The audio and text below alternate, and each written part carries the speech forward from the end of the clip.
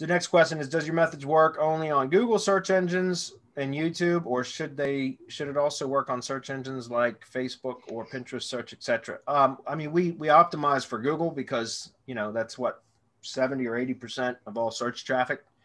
Um, I can't speak for Facebook or Pinterest; those algorithms are totally different. But oftentimes, when we optimize for Google, then we end up ranking in Bing and Yahoo because Bing and Yahoo are one and the same anymore.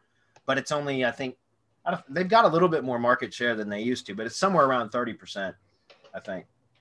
But I don't optimize for Bing or, I mean, I just optimize for Google because that's, you know, that's where the bulk of all traffic comes from. And um, usually we end up ranking in Yahoo and Bing also.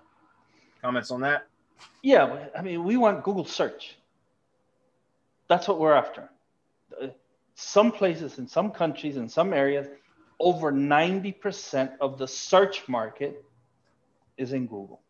So if you have something that's search based, which is totally local business or whatever, eh, then it, it just stands to reason that you're going to focus in Google. Now, if you're going to go and work the Pinterest algorithm, then you have to learn the Pinterest algorithm and some of the methods that we teach might not work in Pinterest. Well, I'm not going to get into how Pinterest works in, here. Works differently.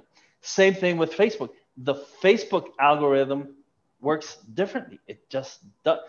They're similar, so is the Bing algorithm. They're all based off of the same thing, right? Trying to see how they rank for a certain query.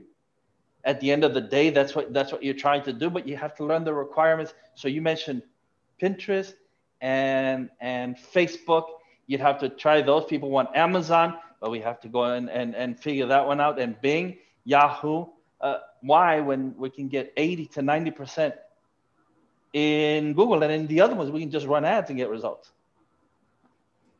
Yep, I agree.